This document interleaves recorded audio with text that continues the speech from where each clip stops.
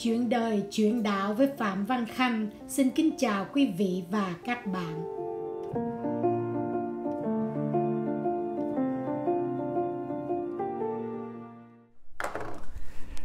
Chào tới ngộ tất cả các bạn. Ngày hôm nay mình lại gặp nhau ngày thứ bảy trong đề mục chuyện đời, chuyện đạo. Kỳ này mình sẽ đi tập thứ 19 và chương 24, chương 25 trong tổng số 36 chương của quyển sách Diệu Pháp Liên Hoa. Ờ, bắt đầu từ chương này sẽ đề cập đến bát tiên là tám vị tiên gia ngày xưa tu thành đạo thì bát tiên tượng trưng cho tám cái tánh chánh của con người à, ngày hôm nay mình đi đến vị tiên thứ nhất là lý thiết quẩy. Thì lý thiết quẩy uh, theo truyền kỳ đó uh, tiểu sử của ông là một vị công tử giàu có uh, rất là khôi ngô tuấn tú nhưng mà lại mê thích tu đạo. Và ông đã tu đến một cái quả vị khá cao thì ngày hôm đó ông dặn tiểu đồng là ông phải xuất hồn lên cõi trên học đạo một thời gian ngắn ờ, ờ, cho tiểu đồng ở nhà canh sát của ông. Thì một điều bất ngờ xảy ra. Thường thì ông đi hai ba ngày là trở về, nhưng mà kỳ này là quá hai ba ngày ông chưa về mà tiểu đồng lại nhận được tin ở dưới quê báo là có đám tang lớn của thân phụ, thân mẫu gì đó. Nên tiểu đồng ráng chờ thêm tới 6 7 ngày. Thì ờ, ông vẫn chưa về. Thì ờ, tiểu đồng nghĩ rằng ông đã đi luôn rồi. Nên đem xác của ông thiêu ờ, đốt thành tro, rồi đi về để mà về quê phục dưỡng đám tang của cha mẹ thì khi ông trở về thì ờ, hồn ông trở về đó thì mất cái xác. Không còn uh, chỗ để mà nhập vào. Thành ra ông mới đi tìm một cái xác khác. Cuối cùng uh, thì gặp một cái thân xác của một cái ông ăn mài già uh, tật quyền xấu xí ừ, chống nạn vừa mới chết bên lề đường. Thì ông đành phải nhập vô cái xác đó thì từ một vị ờ, khôi ngô tuấn tú tài hoa trở thành một ông ăn mài già nua xấu xí đó là cái uh, truyền kỳ về vị tiên này. Thì tôi xin đọc phần kinh của nguyễn uh, của cái chương này nha. Nhất phẩm tiên lý thuyết quẩy từ đẹp quá xấu từ sang quá hèn đạo trời ở trong luật trời ở ngoài trong ngoài hiệp nhất, trên dưới hòa đồng. Thì đó là cái phần kinh, và tiếp theo là cái phần luận của tôi về cái chương này. Bát tiên là tám vị tu thành đạo được lưu truyền trong truyện ký. Đó cũng là tám trạng thái tiên gia, tám giai đoạn tu chứng phải trải qua của người cầu đạo những phẩm tiên này đều có sẵn trong chúng ta, chứ không phải chỉ thuộc về những người đặc biệt. Ở đây, đó là tám giai đoạn kiến tánh để nhận chân ra bổn lai diện mục của mình. Phẩm hạnh đầu tiên là thật thà công khai những mặc cảm, những lỗi lầm, những xấu xa của mình ra để bước vào tâm đạo. Cái đẹp của thân xác chỉ là vô thường và sự giàu sang, danh lợi chỉ là phù phiếm.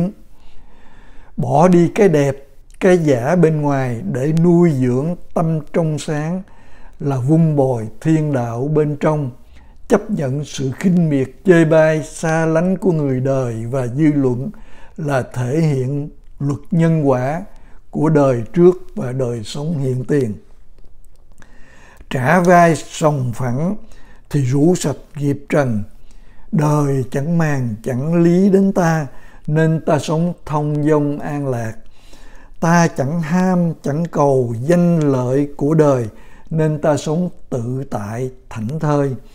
Chống thiết trượng sinh cơm ngàn nhà để trà tan tự ái.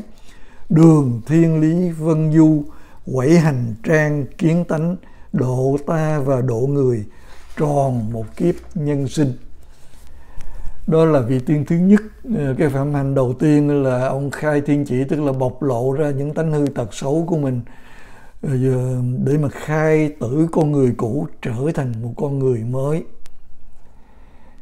Ờ, thời gian đó thì đại sư huynh viết truyện như vậy đề cập đến nhân vật là diệu liên hoa, tức là à, tức là vị Hà Tiên Cô đó vị tiên đầu tiên và cũng là cái người viết quyển kinh này. Diệu Liên Hoa là con nhà quyền quý giàu sang thế gia vọng tộc, có tâm tu từ nhỏ, lúc thiếu thời hay theo bà nội lên chùa lễ Phật. Mỗi khi có điều nguyện thường ăn chay để tỏ lòng tôn kính. Lớn lên, gặp lúc quốc phá gia vong tích ngộ cuộc đời, dâu biển, mong manh như bọt nước sương mai, muốn tìm một lẽ sống bất biến hằng hổ đời đời. Dứt khoát trả giá để chọn đường tu, lấy pháp hiệu là tâm không, quy y tại đạo viện hồng bích.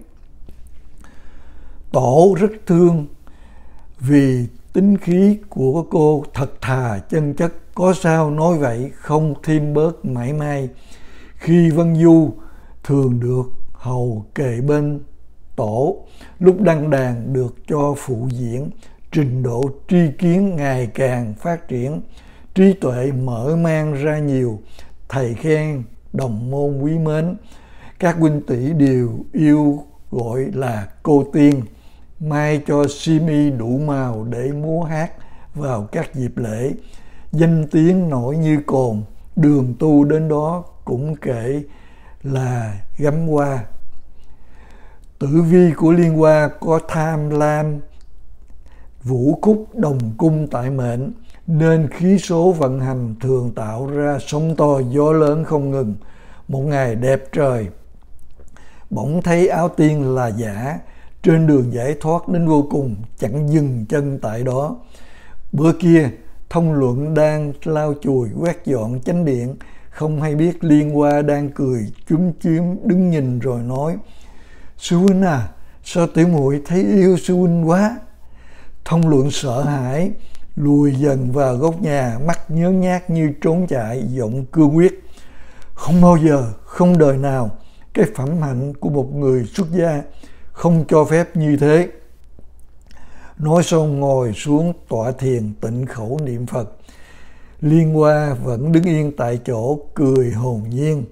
Tiểu muội chỉ phát biểu sự thật trong cõi lòng mình ra mà thôi.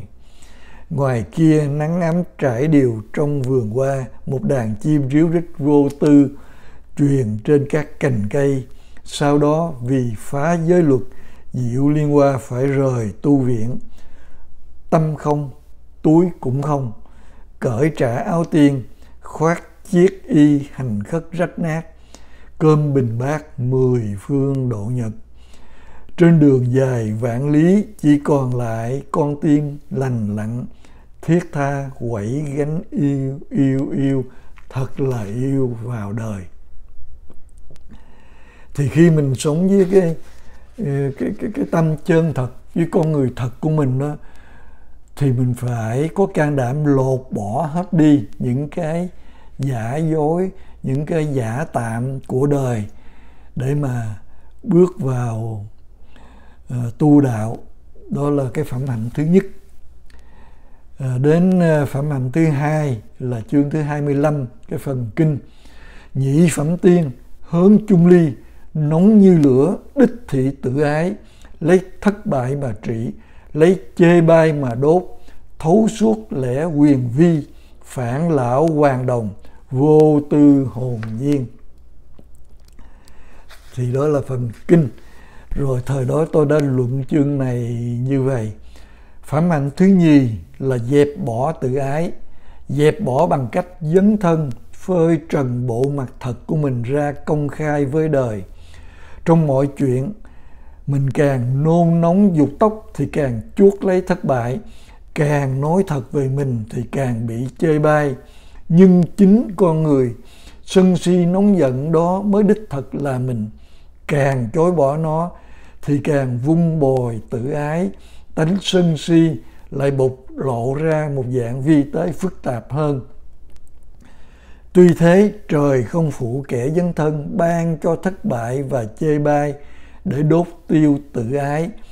Đến lúc hoàn toàn chấp nhận con người thật của mình mới thấy rằng nhờ hoàn cảnh và người đời tận tình điêu luyện, nên ta mới thấy lại được bộ mặt thật.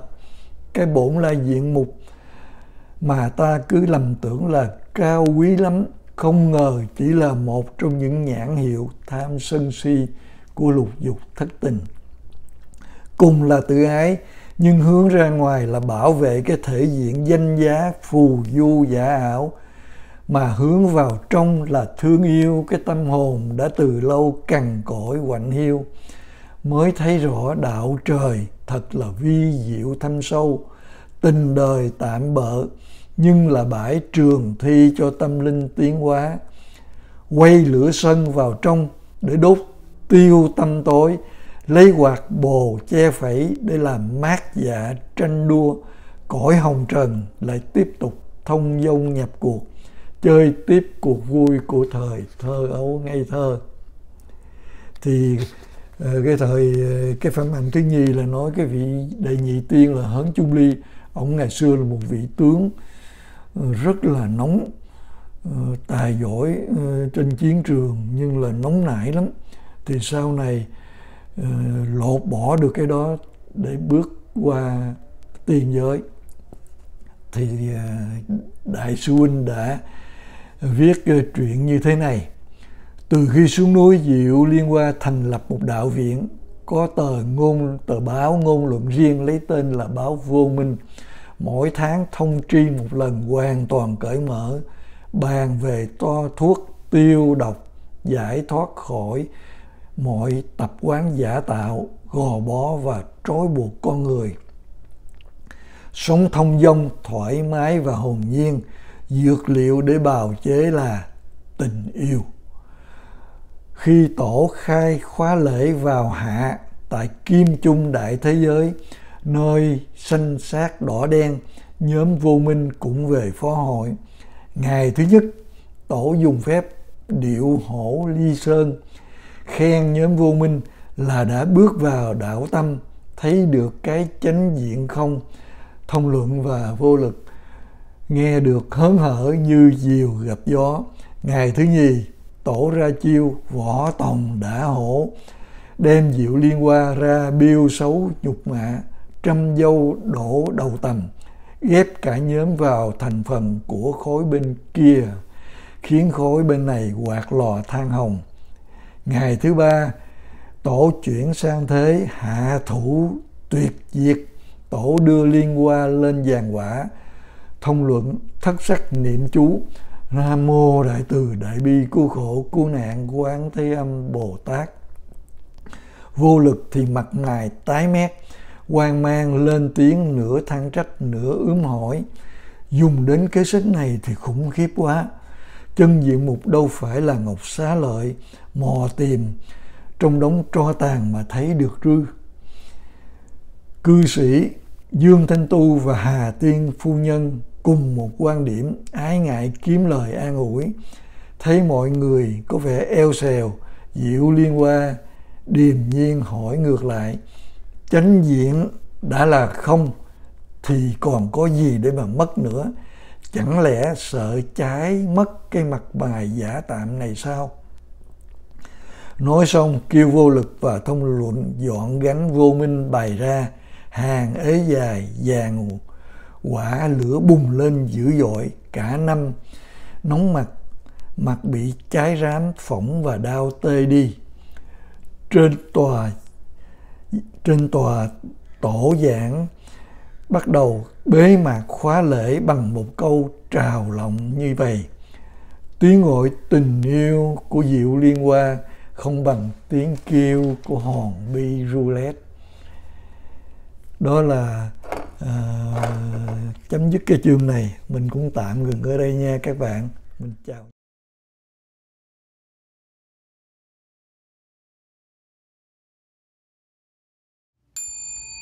Xin cảm ơn quý vị và các bạn đã lắng nghe và xin chào tạm biệt.